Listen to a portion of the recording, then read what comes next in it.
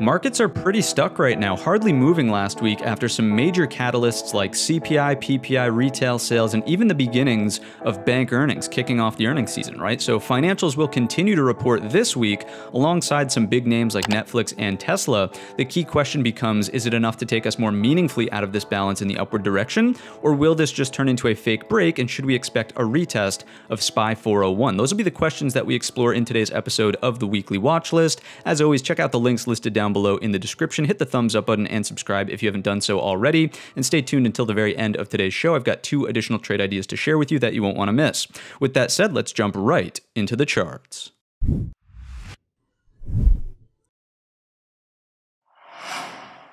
So, kicking things off on the SPY weekly time frame, talking about candle structure and location as we always do. For structure this past week, we're certainly dealing with a solid green bodied bar with a little bit of a pesky upper wick on top, but it's certainly not as meaningful as an upper wick that would look something like this. We know that we've closed in the upper third of the weekly range. There's some sellers hanging out up towards the highs, but there's not really an attempt from the sellers early on in the week to move us underneath the previous week's low. So, let's save location for just a second, but overall structure does strike me as more bullish than bearish. If we think about the bar to bar count, yes, we have technically produced, as we were just alluding to, a small, very nuanced higher low, as well as a higher high, also stacking up in the bull side of the analysis here. We could also say that we've spent yet again another week above the top of the banking crisis candle high, which also stacks up as a bullish data point. Because of that, I would say that, you know, the more time we spend above the top of that breakdown bar, the less likely it is that this actually turns into a head and shoulders pattern. Ideally, that right shoulder would have been underneath the top of that breakdown bar. Now, you might say to me, Matt, well, what about the double top that's brewing here? I would say, sure, we may get a pullback off of the equal high, but if this is going to turn into a full blown reversal off of a double top, just remember that that requires breaking down underneath the neckline to actually produce a new lower low, which brings me to the next pattern kind of in play here. If we zoom out a little bit on the weekly time frame chart, you could certainly start to make the argument that this is turning into an ascending triangle, right? And a break here takes us out of the weekly balance that we've really been concerned with over the past, you know, month and a half's worth of trade as we've approached the top end of this balance range. If we go ahead and throw on the Fibonacci's from the high all the way down to the low of this drawdown, I want to start bringing this into the weekly analysis here. What you'll notice is that we're right at the 50% retracement. So the bearish narrative that says like, hey, new lows are incoming,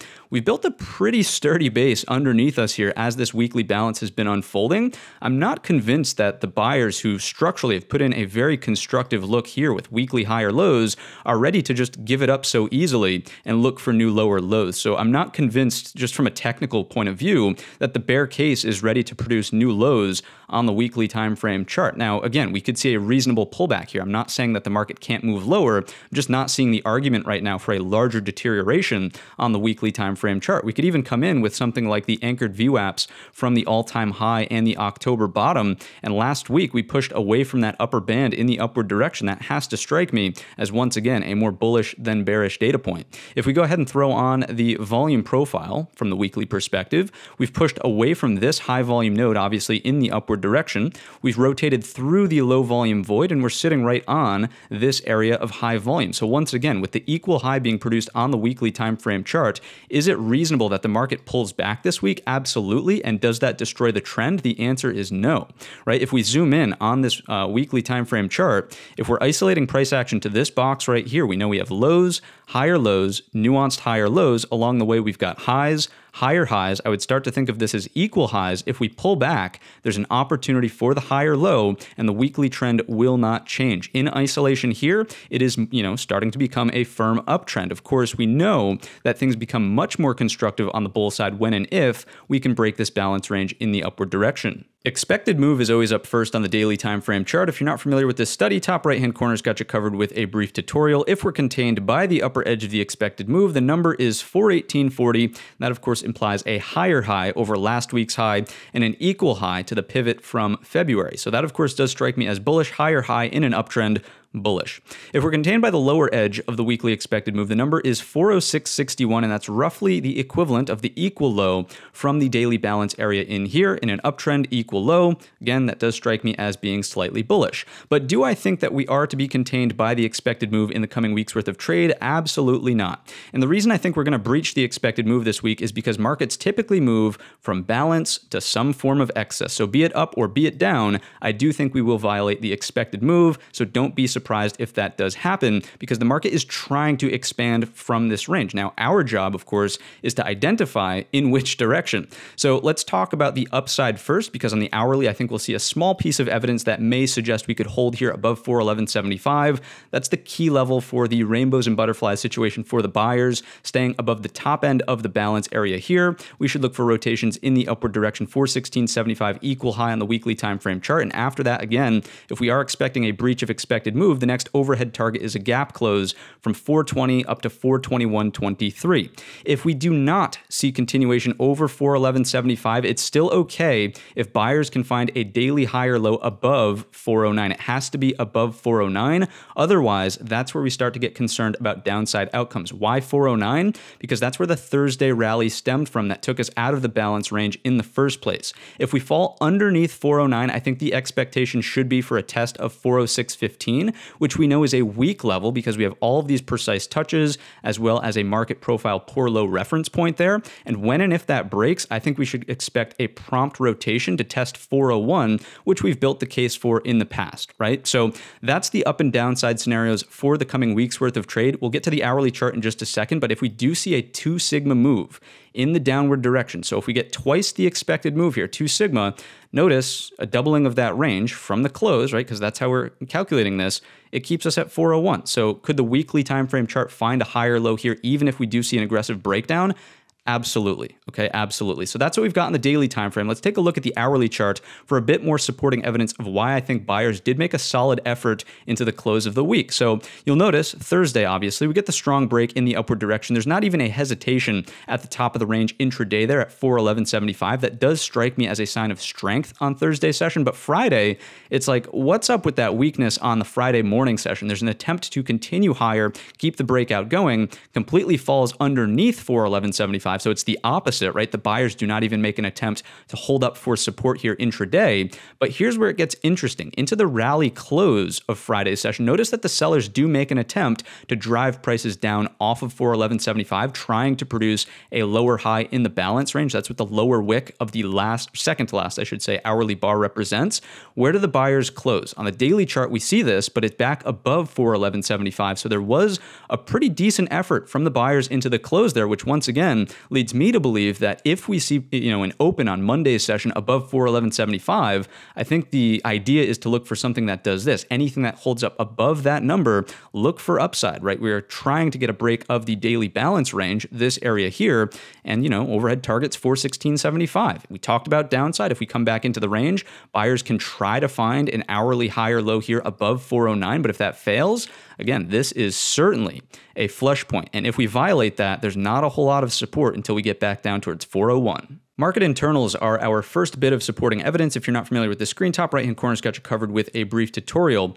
Overall, we are seeing inflows on the week, but they are not significant. They did not breach 500 million in the upward direction. For the most part, we did spend a majority of the week in the positive territory for our advanced decline line, and the cumulative builds on the tick are very mild in the upward direction. And I think that this can clearly outweigh one single day of downside reads here on Friday. The concern with the market internals this week is really the discrepancy between the Tuesday session and the Thursday session. We know that on Thursday, Thursday is the day that the market breaks out of the balance area. Why were the internals stronger on the Tuesday session and weaker on the actual breakout day. Notice that the volume reads on that individual day did not get up and over 300 million. Notice that on Tuesday, the advanced decline line actually makes it into trend higher zone, whereas on Thursday, it comes up short. In terms of the cumulative build, a little bit stronger on the Tuesday session, Thursday, a bit weaker here, especially with that fading move into the close. So I'm not all that confident in the upside break yet. That's why, again, it's kind of like acceptance above 411 is kind of 411.75 is kind of required on that SPY daily chart. Otherwise, you know, I think a pullback could be in store. Obviously, Friday speaks for itself. It's a concern with a negative cumulative build, outflows from the market on that individual day, and just an uh, you know a hideous trend here in the advanced decline line. It's not enough to fully say that like okay everything is just wiped away. Um, you know bears are in control, but for the most part, like a little bit skeptical of the breakout on Thursday. Hopefully, as you can see from this walkthrough, market profile is always Exhibit B. Video tutorial in the top right hand corner. If you're not familiar with this screen, what we need to dissect is the Thursday and Friday session specifically.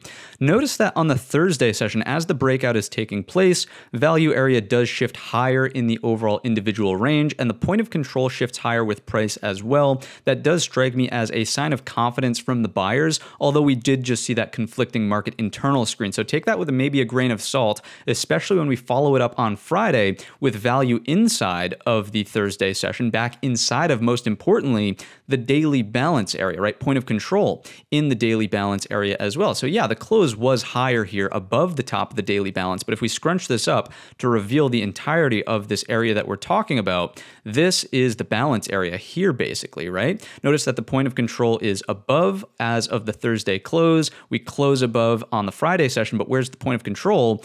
Again, it's inside of the balance area on the daily time frame chart. So a small bit of, you know, concern about upside continuation is certainly reasonable at this point in time based on some of these indications. We also know that we have poor lows stacked back here at the bottom end of balance. So I want to remind you of that in case we do see a violation of SPY 409. This should be the target and a breakdown there should lead to SPY 401. Let's go ahead and take a brief look at a zoom in of the Friday low because we also have a poor low here. Technically, this lacks meaningful excess. It's only one tick. We typically look for two or more to say that the low is decent or just not a poor low.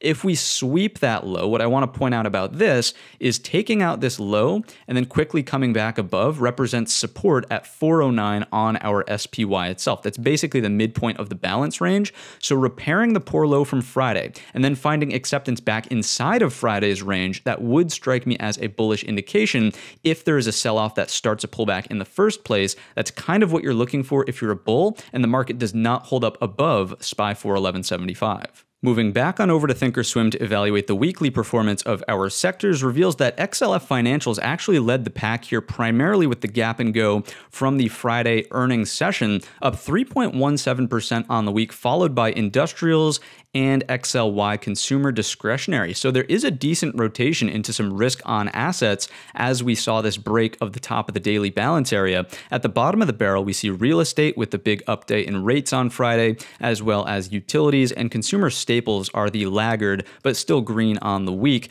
Nonetheless, the rotation that we've been talking about from the risk off sectors performing as we were stuck in a sideways balance to then rotating into risk on assets as and if a breakout does start. So so far, that does strike me as bullish posture, but let's take a look at the structural charts and evaluate what's going on from a trend perspective. So here's that gap and hold on the Friday session in financials. As long as we stay above at this point in time and find any higher lows above 32.25, I think that this could reasonably produce a pullback, do something like this, and then start to retrace some of this thin structure from back in here. That, of course, does represent the banking crisis. Now, not all of the bank earnings are out, but the primary constituent JP Morgan, of course, did report on the Friday session, and all things kind of went dandy there. So that's kind of what's leading to this preliminary gap up. Let's see if we can get continuation or a mild pullback that holds for a structural higher low. Again, the level to watch is 32.25. As long as we're above that, I think financials are acting as a bullish force for our markets, trying to get back through some of this thin structure. Recall also that this is a fairly heavyweight sector in the S&P. XLI industrials are up next. Notice that they're just stuck in the midpoint of this range here. I don't really think that there's much to say about whether or not this has directional pull, pull for the S&P unless we're either over 103 or back underneath 96.75. Now, if we think about this in isolation, of course, it's a step in the right direction. Uh, this double bottom at first, the neckline absolutely did not hold on that blast right through it, but we did find ourselves a higher low technically on the daily time frame chart, and this is a higher low as well. Now, this neckline is acting as support as of the Thursday session. So the look would be bullish if we can break $100.15 in in the upward direction, but is it going to make or break the S&P? Probably not all by itself. Next up, we've got the XLY, and although it was towards the top of the list in last week's lineup over here, it's not doing anything impressive on the daily time frame chart. We've talked about this in the past. This balance area needs to resolve in the upward direction. The XLK tech sector has really pulled the S&P 500 higher as it's remained in this bull flag consolidation on the daily time frame chart. The XLY has not pulled any of its weight. It's just stuck back in this balance. Again, it is constructive that we have a higher low here above 141.75, the midpoint of the range, but it's got to get in gear over 148 if something more impressive is going to take place for continuing continuation on the SPY daily timeframe. With Tesla reporting this week, that should be a big catalyst to watch out for here in the XLY. So just continuing to monitor 148 if we're above bullish force for the S&P. If we're just stuck inside sideways here, I would say it comes down to some other key sectors that we'll get to in just a moment. And then of course a violation of 141.75 red flag, run for the hills in the S&P if the XLY starts breaking down underneath 141.75. Next up, energy sector, lightweight sector, risk off sector. It is putting in an ascending triangle here, a break over 87.50 to lead the market. If the XLY does not get over 148, for example, would be a big cause for concern. You don't want defensive sectors leading any rallies in the market. Next up is materials lightweight sector, three-day balance going on here. Slight bullish pressure if it's up, slight bearish pressure if it's down. This is not not a make or break for the S&P.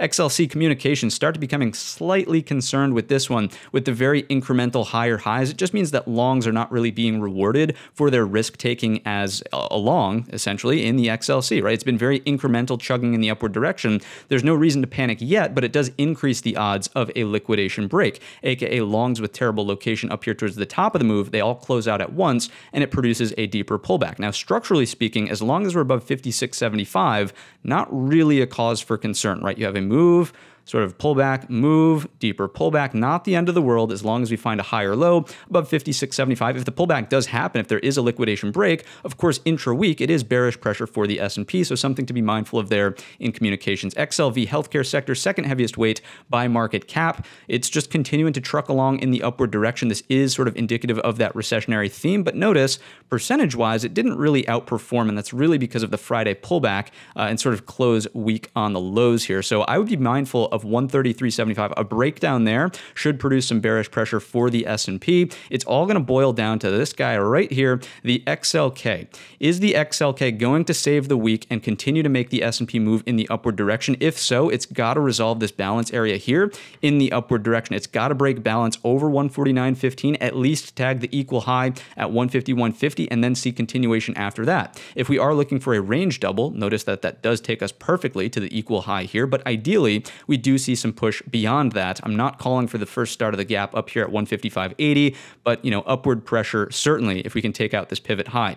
The reason that this needs to break out is because again, we're seeing some of these heavyweight sectors like the XLV, potentially the XLC from a risk on perspective, XLY lagging, XLF looks okay, but there could be a pullback, right? If the XLK can't break out of balance here, that's not really a good look for the S&P on its own. Breaking down underneath the bottom of balance, a deeper pullback should unfold into 144. Of course, that's bearish bearish for the S&P. If we want to see the XLK break out of balance in the upward direction, then we want to see the XLP break out of balance but in the downward direction, right? If we're going to see a risk on move in the market, it should not be led by the consumer staples. So this wants to break 75 in the downward direction to rotate through the thin structure and potentially catch itself for a higher low off of 74. That would be constructive from a posturing perspective in the S&P. If this breaks the balance in the upward direction and the opposite happens in the XLK, again, there's your red flag run for the hills. Let's get into some of these really lightweight sectors. Real estate, of course, much more to do with the wealth effect with rates rising on Friday. No surprise that this is lower. I would say it does start to become more of a drag for the S&P as it starts breaking down underneath 36. And last but not least, we've got the XLU for utilities. It certainly did, uh, or it was attempting rather, I should say, to put in a balance area here. Strong support on the Thursday session, trying to bring it back into that range. But notice that Friday is consolidation underneath 69.25. I would be looking for downside outcomes here, which actually is good from a posturing perspective. You want to see this remain underneath 69.25, pull back, catch a higher low off the neckline of this double bottom pattern from in the past at 67.75, and then rotate in the upward direction. So, so far, so far, the sector rotation does look good, but it's going to boil down to follow through from the XLK, follow through from the XLY and XLF if this risk on look is going to be preserved in the S&P. Here is the ratio grid. If you're not familiar with this screen, top right hand corner's got you covered with yet again another tutorial. The top four are the heavyweight sectors for the S&P. If the XLK can catch itself for a higher low above the upward sloping 50 SMA, it probably coincides with a structural balance break that we just saw on the candlestick chart that would be constructive for preserving the risk on look. The XLV is slowing down here, which as we know is indicative of the recession theme when and if this is taking off in the upward direction. So the fact that it's slowing does strike me as a bullish indication. It'd be really helpful if the XLF could start to retrace some of this thin structure from the breakdown and banking crisis. We'll see if that can be the case with bank earnings continuing this week. And the XLY, it was starting to, to deteriorate rapidly in here. The fact that it's catching a bit of a minor footing into the end of the week does strike me as being somewhat helpful, but it's not certainly uh, certainly not contributing to the risk on look in the marketplace right now. The closest tie to the XLK is really the strength in the XLF XLC, continuing to just chug right along in the upward direction. That does strike me as constructive and more risk on as opposed to risk off. If we look at the bottom four sectors, these are the lightweight sectors for the market. XLP in deterioration, XLU in deterioration. XLE is the only one that's kind of hanging in there sideways at the 50 SMA. We know that real estate has to do with the wealth effect, so we're not seeing a full blown risk off look, but it would be certainly helpful for the risk on look if XLF could really perk up and the XLK could find a higher low here above the 50 SMA. Let's take a look at the XLY versus the XLP. So we have growth, of course, versus value, trying to find some support very similar to the XLY relative strength chart that we were just looking at above the gray bar, which represents the double bottom from here, and of course the nail in the coffin for the final leg lower. So as long as we're above uh, 1.9, it's not the end of the world, but again, this slow malaise in the downward direction is not all that confidence inducing for a big break in the upward direction. It would be ideal if this could come in for the equal highs much closer to 2.1 and then, then see continuation in the upward direction. Checking in on the dollar, we are still underneath the bottom of this balance area in here. The number is 102. If anyone knows what's going on with Thinkorswim's data, let me know. These should not be dojis. If we go on down to something like a 30 minute time frame chart, what I want to point out is that, uh, again, the close was fairly strong on the Friday session up towards the top of the range here, but the, uh, the daily bar certainly looks kind of funky there as a hammer candle. Nonetheless, we are underneath the balance, and you just want to watch for rejections 102. A lower dollar here should correlate to higher equity prices. And you could see the same thing if you go to a proxy like the UUP, for example. If you just take a look at this as the balance range, this is that green close on Friday. We want to remain underneath that level. If we take a look at the gold contract, I want everybody to be very aware of what's going on here. The first test is always the best test. So break, retest, and rally. You don't want to trust the retest this time around at 2000. It may hold as support, but I would not be a buyer here until we firmly start to resolve that in the upward direction. Now, why is that? Here's a little bit of a, a tactical trading lesson, right? If you get buyers sucked in at the higher high breakout, and now we close underneath this pattern right here, what should happen on a lower low, right? Those buyers are invalidated, they close out, adding more selling pressure. It's a fake break. So just be very mindful of 2000 in the gold contract this week. And the same thing could be said about something like silver here, the SI contract coming in for a retest of that breakout point at 2522. But just remember, it was a gap up here in the regular trading hours session that provided the move higher in the first place. Really more evident on something like the SLV uh, ETF. Notice on the Wednesday break breakout, right? This is a hammer indicating the gap higher, retest. So we've already retested the breakout point at 23 and pushed away into the Thursday session. Again, the first test is the best test. I would not trust 23 in the silver contract once again on the second go around. So in theory, if these levels start to break down, what does it mean for the dollar is the question to be asking. Higher dollar should mean lower equity. So just be very mindful. Gold 2000, silver right around 23 in the ETF, and it was 22.25, I believe, in the SI contract. Let me just double check that for you. 25 22, uh, excuse me there. Let's take a look at interest rates now. We know that they were higher on the Friday session. Of course, I want to point out that we're back inside of this range here. But if we zoom in and isolate to this range, I think that this is kind of noteworthy, right? Look below and fail, made it to the top. Look below and fail. Are we going to produce a lower high? Is the key question. And if this breaks down once again, is you know is it going to be enough this time around because this has been kind of a conundrum for the market right now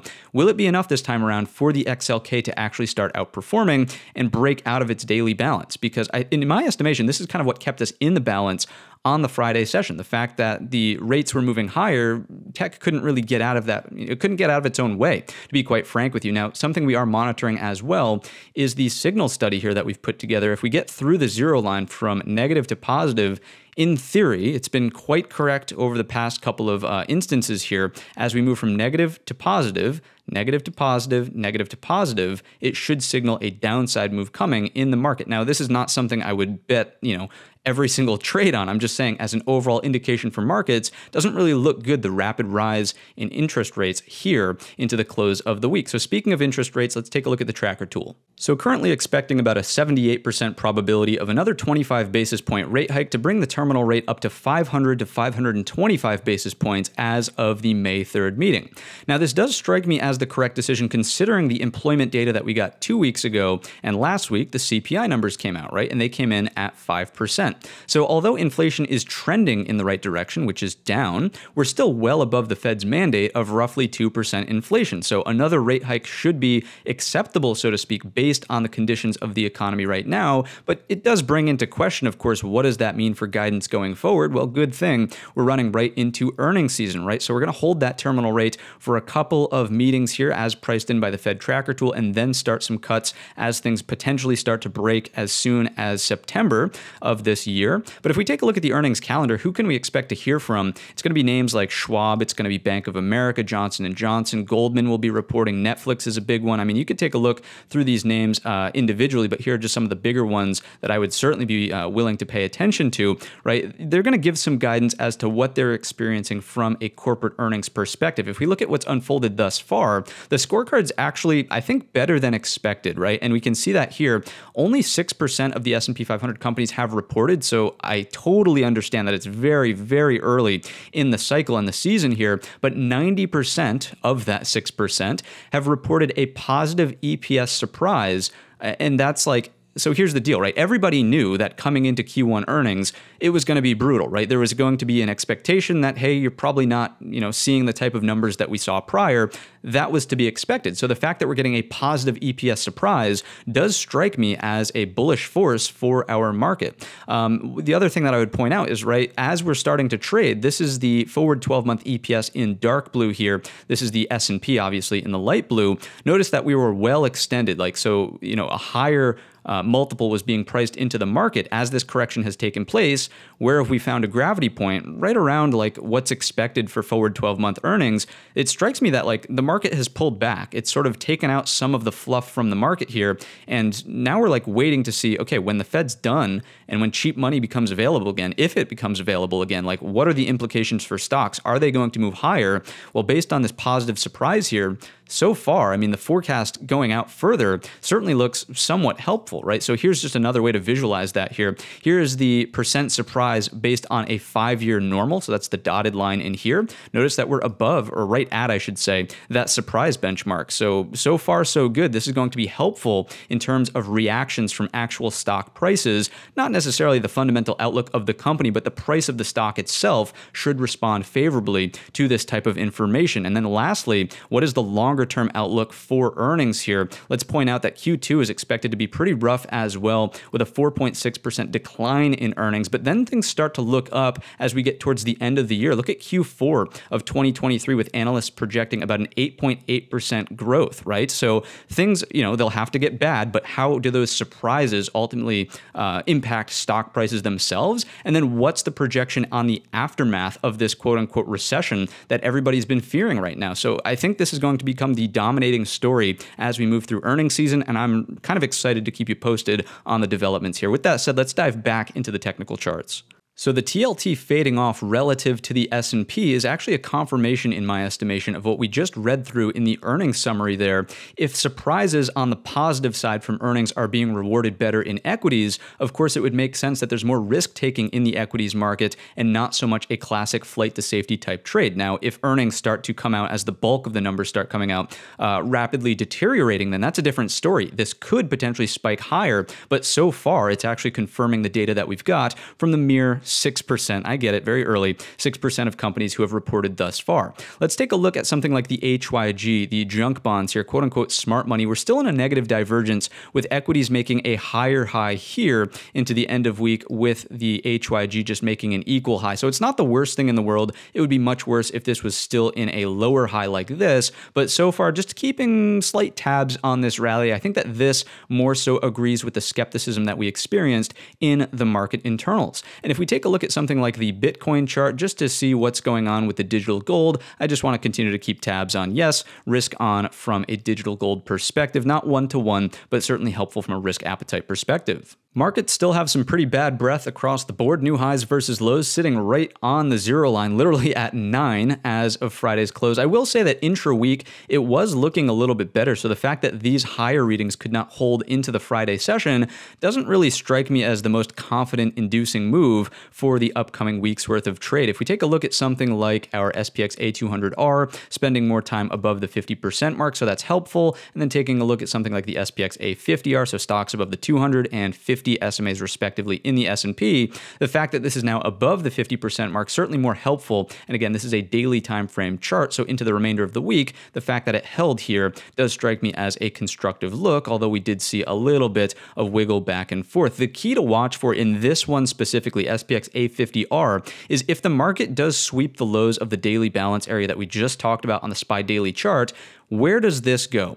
Does it find a higher low somewhere? I don't know. It could be 0.3, 0.35, whatever. Or does it actually fall all the way back down into this area here? That will be a huge tell for the market if we do see a deeper pullback in the S&P itself. The next thing that we want to take a look at is going to be the RSP equal weight S&P 500. Notice that we're still very far off of these highs. This does strike me as a cause for concern, a big divergence in breadth for our market. This has to start performing in the upward direction if we're truly going to be below believers of any larger break here in the equities market down below, the weighted S&P 500. Another divergence that's playing out is the Dow, right? The Dow divergence, so industrials versus transports. Notice that this made a higher high here in the industrials, and we just have a double top in play on the transports, right? It certainly hasn't broken down underneath the neckline, but it's telling us to be very skeptical of this breakout in industrials, not really confirming the move higher. And of course, ripple that out to the S&P.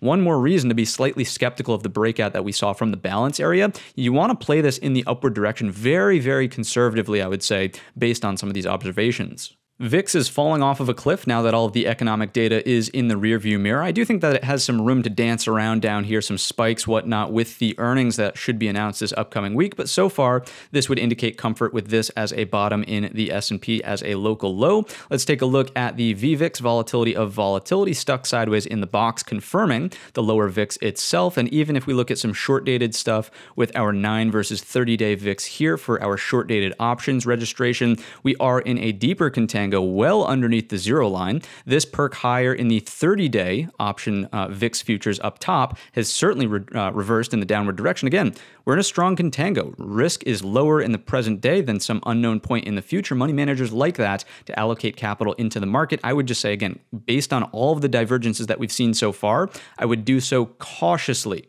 Cautiously. Here's the QQQ weekly time frame chart talking about candle structure and location as we typically do. This is another inside bar on the QQQ weekly. It is a green bodied inside bar, but nonetheless, this will become more meaningful when and if we can break this pivot top and see continuation in the upward direction. If we break underneath the lows, of course, we know that that would represent a balance break on the daily time frame chart. We'll talk about that on the daily in just a moment. We're also spending this consolidation above the prior weekly pivot high, and we've closed yet again above the anchored VWAP from the all time high week back here, as well as, you know, well significantly off of the VWAP from the October low of the past year's worth of trade. So weekly time frame chart does strike me as being more bullish than bearish. If we take a look at the volume profile, I would continue to point out that if we can get the break of this inside bar setup on the weekly time frame, look left, we've got a low volume void. Again, I'm not calling for in the coming weeks worth of trade that we rotate all the way on up to like 365 give or take, but I'm just pointing out there's fairly thin structure from a volume perspective in this general general range, which is something to be mindful of. Let's take a look at the daily time frame chart now and see what's going on from this perspective. Let's turn the levels back on and make some assessments about expected moves. So just like in the S&P itself, I would not expect that the market is contained by the expected move this week just because we've been in balance for so long here. There was an attempt to get above balance on the Friday session, but we've closed basically unchanged at 318. Let's keep it very, very simple. In the QQQ, if we're above 318, buyers do have an edge here looking for upside over the top. That would be the weekly uh, inside bar breakout level. That's 320.50, looking for the upper edge of expected move here for the higher high at 324.85, and continuation could bring us into 328. If we come back down into range, there's not as clearly a midpoint of this balance range, so it's just all about the bottom at 314. A flush there should easily violate the lower edge of the weekly expected move. A doubling of this range in the downward direction takes us to the top of the gap at 310 and potentially through it to close at 308.20. Again, this balance should lead to some form of excess. I am not convinced that the expected move holds us in the coming weeks worth of trade. Let's take a look at the market internals specific to the QQQ. Bear with me as this loads. We'll just point out that the internals were weaker in the QQQ. So could this be a fake break in the upward direction? I would certainly be more skeptical of that in the QQQ and the tech sector specifically. Again, we saw this dynamic in the XLK based on the TNX analysis, right? So the pieces of the puzzle should be coming together here that it's no surprise the QQQ is slightly weaker. Much more negative build in the cumulative tick on the Friday session, some more significant sell side activity.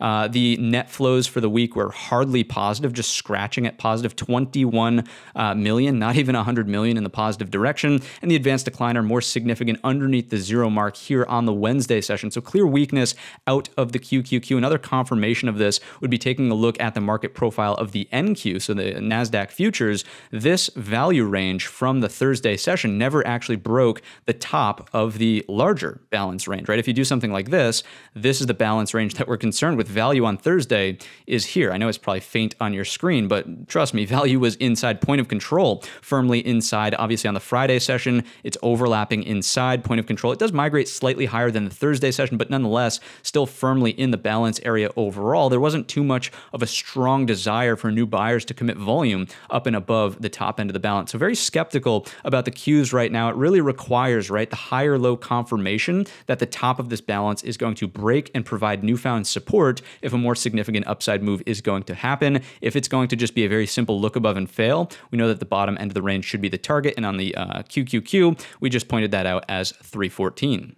And lastly, we've got the IWM weekly time frame chart. What's going on? Candle structure and location certainly strikes me as being more bearish than bullish. Inside bar on this week session, larger upper wick compared to all the other bars we've seen thus far. Closing in the midpoint of this weekly balance. We'll zoom in on that in just a second, but I did want to point out if you bring in the anchored VWAP from the all-time high, we're nowhere near it in the IWM. Obviously, there's some more weakness here out of the small caps, but we're even underneath the anchored VWAP from the October low. So it doesn't really strike me as all that constructive for an upside move here in the IWM. There's that bear flag we were just referring to. Again, upper wick rejecting some of the upper portion of this three week balance that we've been sitting in. Let's take a look at the daily time frame chart. I suppose actually we could go to the volume profile here as well in the IWM. We're sitting on a massive shelf of volume, so I'm not convinced that like larger breaks will become more meaningful. This is a strong area of support, uh, volume based for the IWM. If there is a rotation in the upward direction, I think that structure is more meaningful as we potentially rotate through this void. This area of sideways consolidation. I don't know if you guys remember this.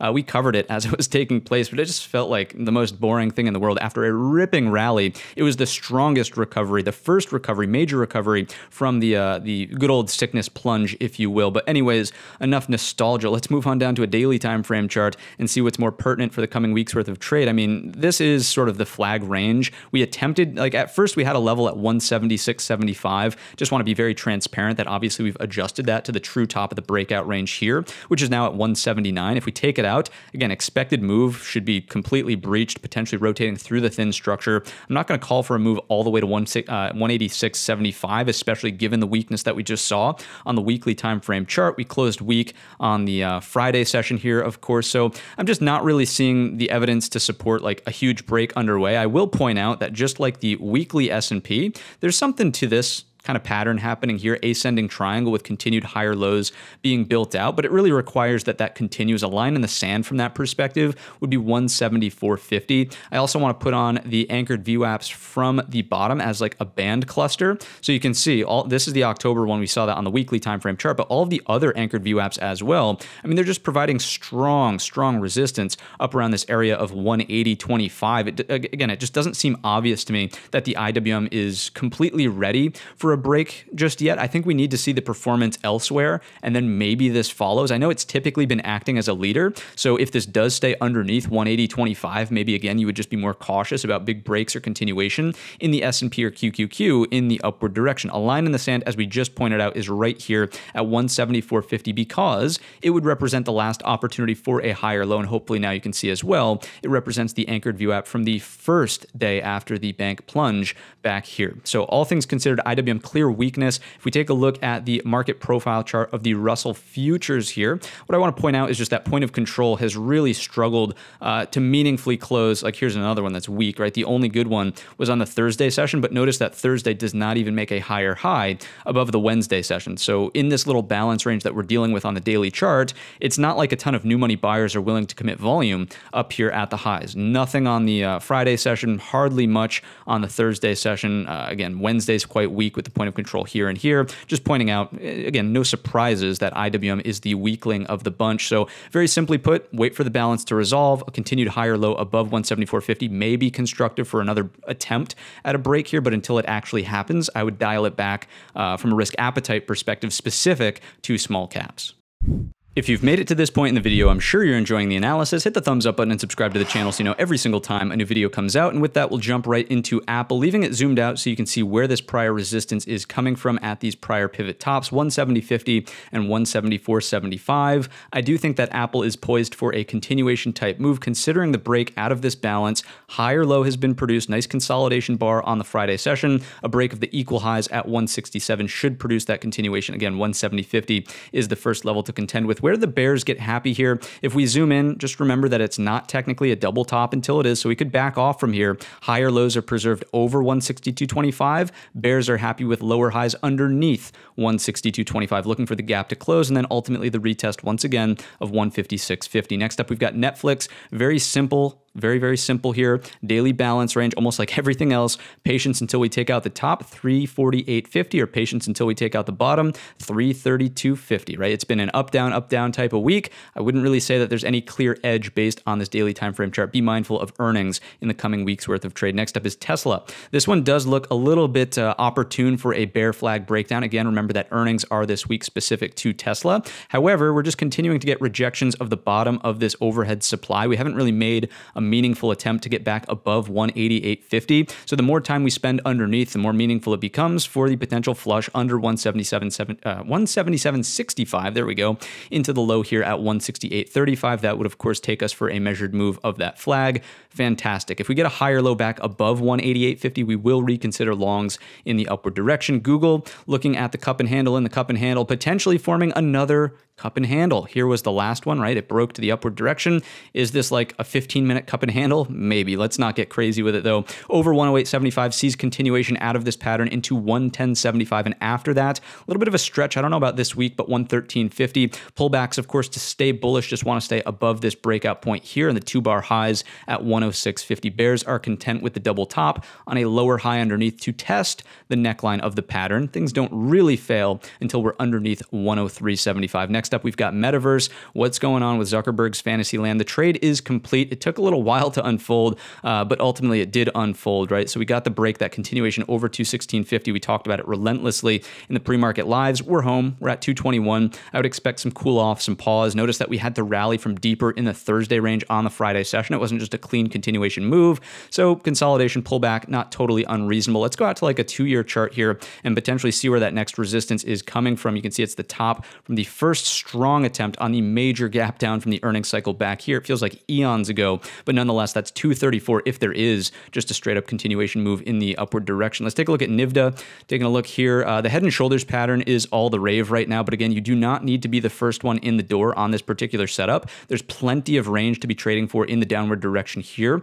Let's just call it 262 down to 242, 20 points of range you don't need to be the first short who literally shorts at 262. So wait for the confirmation break of the neckline before attempting to short this topping pattern. It's got to be some sort of move and lower high underneath for the flush. Notice that on the Friday session, we take out the Thursday low and what do the AI buying maniacs do? They send it right back higher, right? So don't be surprised if this just goes sideways. I think it's poised based on the strength of the previous trend and so many people wanting to short this thing up here at the highs. I think it's actually poised to fake a lot of people out. I think it could sweep the lows, come in here, and just go sideways and disappoint longs and shorts alike. So be mindful of that as an outcome in NVIDIA. But nonetheless, patience is the play there if you are trying to be the short. Next up is Softy, stuck in a balance range. Let's keep it simple over 289.25, under 281.50, and we'll take it from there. Next up, we've got last but not least the mini beast, Amazon, the laggard of the pack, finally higher low back above this previous structure, which flushed early on in the week here. So, liking the constructive look of Friday's low over 101.25, but for breaks like consolidation and then a follow through move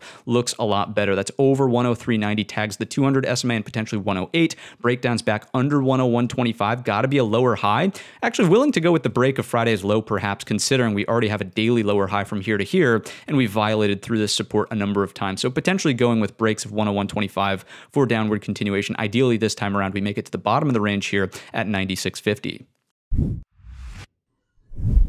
And last reminder, just hit that thumbs up button, subscribe, bell button, all that stuff YouTube tells us to tell you about. Let's get into the first trade idea on DIS, good old Walt Disney Company. What's going on here? Certainly a constructive looking bottoming formation with a higher low in place. We're consolidating above the neckline, if you want to call that a higher low double bottom, right? Little liquidation break on the Wednesday session back above. Requires a little bit of patience. The break is over 102.50, clearing these moving averages. Look left, thin structure through the breakdown. Target is 107.68, where the breakdown came came from on that red bar up here. Not interested if we can't break that level in the first place. Again, 102.50 on the upside. Next up is PANW, Palo Alto Networks. What's going on over here? Just an ideal, ideal topping sort of pressure cooker top forming at 200, right? Psychological number, perfect touches to this area, right to prior resistance over here. I mean, you can't make this stuff up. It's almost right to the penny. If we can get the break of 200, look left, thin structure as this breakdown was taking place. All-time highs are basically back on the table at 211. So an 11-point move in the upward direction. Just like NVIDIA, you don't have to be the first one in the door for this particular setup. If you want to wait for the confirmation higher low above, something that does this, be my guest. A little bit of confirmation here would not hurt. I do like the bullish engulfer from the Friday session, opening on a severe gap down, rallying to close at the highs, and again, threatening that almighty 200. So that is going to wrap up this week's episode of the Weekly Watch List. If you enjoyed the video or learned anything new, let me know down below in the comments section or by simply giving the video a thumbs up. I hope to see every single one of you guys live at 8.30 on the channel for our pre-market prep. And with that said, I hope you have a green trading week.